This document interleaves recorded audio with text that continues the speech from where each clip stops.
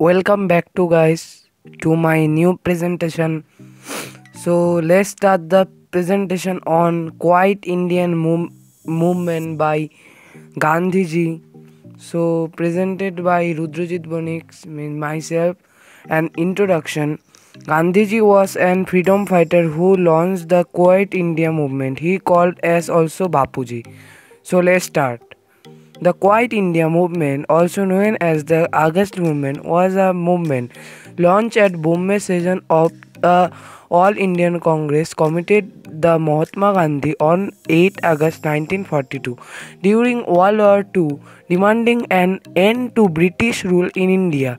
After the failure of Cripps' mission to secure Indian support for the British air effort, Gandhi made a call to do or die. In his Quiet India speech delivered in Bombay on 8 August 1942 at the Gowalia Tank Maidan, the All India Congress Committee launched a mass protest demanding what Gandhi called an orderly British withdrawal from India. Even though it was at war, the British were prepared to act.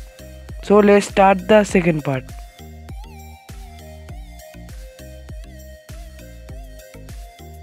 Almost the entire leadership of the Indian National Congress was imprisoned without trial within hours of Gandhiji's speech. Most spent the rest of the war in prison and out of the contact with the masses.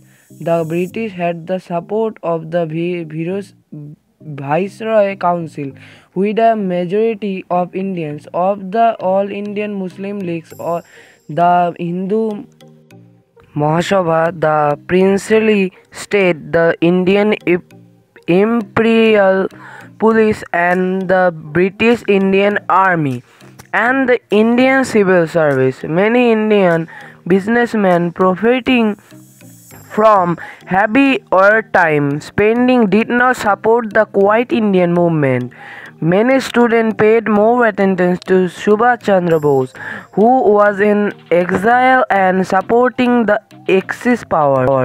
The British refused to grant immediate independence, saying it could happen only after the war had ended. However, the Quiet India movement assured India's independence, which came five years after the movement was launched on 15 August 1947. So, guys, thank you so much for watching. Till then, goodbye and thank you, guys, again and again.